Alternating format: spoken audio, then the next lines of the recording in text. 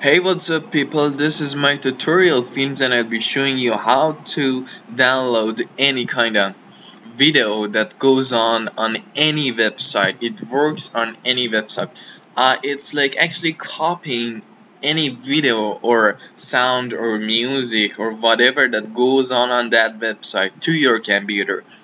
So what you gotta do is you have to have a Firefox internet browser.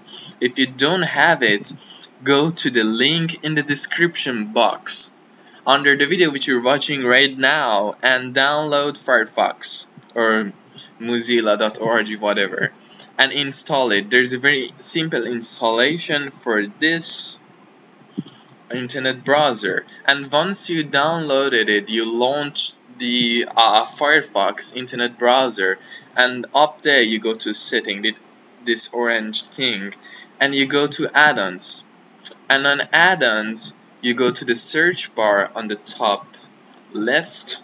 You type in download helper. Helper. And you wait for a while.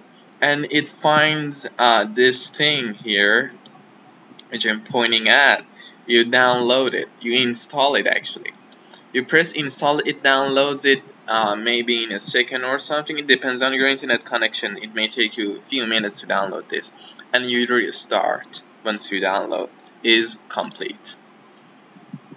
So I'm waiting for Firefox to restart. It restarted. No thank you. So uh, you're good to go now. And once what, what you see here is change is that icon is you know hanging around it it's like yellow red and you know blue dots around there. And like if you want to download this this is just uh, a basic tutorial okay? It works on any website not YouTube any website. You can download anything. You click there and you download uh, whatever is suitable for you. Maybe you want um, 1080p or medium size or whatever and it downloads it like let's try uh, SoundCloud you're gonna download this which you're not basically allowed to. You play it. Come on. What's up with that? It doesn't play.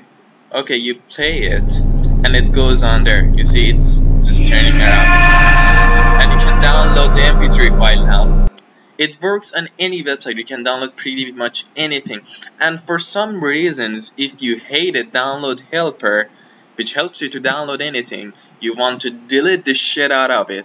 You go to that setting over there and you go to add-ons and uh, you go to extensions or whatever it is this tab here and you remove it. See I have Adblock Plus 2 which blocks any kind of advertisements on website. You can get tons of you know this stuff.